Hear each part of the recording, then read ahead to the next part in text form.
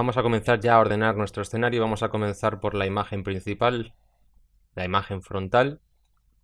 La vamos a acercar ya a nuestros nodos 3D y vamos a crear para ello una nueva geometría, un nuevo car, un plano que va a llevar como textura esa imagen.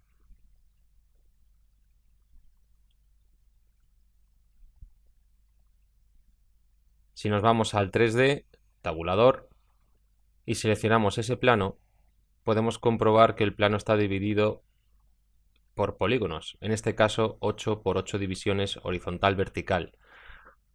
Vamos a ir a sus propiedades y vamos a evitar esa carga poligonal ya que no es necesaria. Vamos a dejar 0 y 0 divisiones para no tener ningún tipo de división poligonal en nuestra geometría.